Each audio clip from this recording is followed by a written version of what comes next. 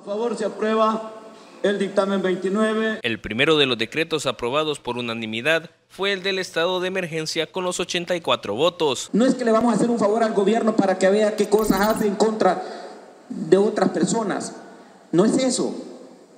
Sino el de darle las herramientas para que en el futuro no haya casos que lamentar. Algunas medidas posiblemente sean criticadas porque las consideren demasiado drásticas, pero el país necesita de buenas decisiones y decisiones bien acertadas. Entre las medidas que contempla está limitar las concentraciones de personas, la suspensión de espectáculos públicos y la limitación de circulación en lugares afectados o en riesgo por coronavirus. Al entrar en vigencia el decreto, quedan suspendidas por 30 días todas las actividades académicas, tanto en el sector público como privado.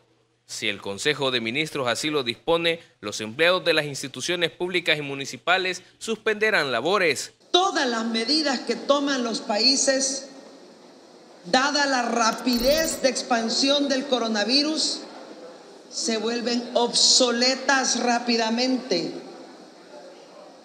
y el Estado debe estar listo. Horas más tarde, con 58 votos a favor y 25 en contra y una abstenencia, fue aprobada la Ley de Restricción Temporal de Derechos Constitucionales, concretos para atender la pandemia COVID-19. Entre las medidas que contempla está que las autoridades de salud podrán prohibir mediante resolución fundamentada las reuniones de los habitantes ordenándole se retornara a su domicilio o residencia. Estas restricciones podrán ejecutarse en un área específica del país cuando la adopción de un cordón sanitario especial sea requerido para contener la pandemia. Quienes han apoyado estos decretos, quienes han apoyado al Ejecutivo a poder tener las facultades y los recursos que le permitan combatir de manera mejor el coronavirus, pues entonces son diputados que le están apostando a la vida, a la vida de cada uno de los salvadoreños. Esta ley de recepción temporal tendrá una duración de 15 días y no restringe la libertad de expresión ni de difusión del pensamiento. Para una prórroga el gobierno deberá rendir un informe de lo actuado tal como lo establece el decreto.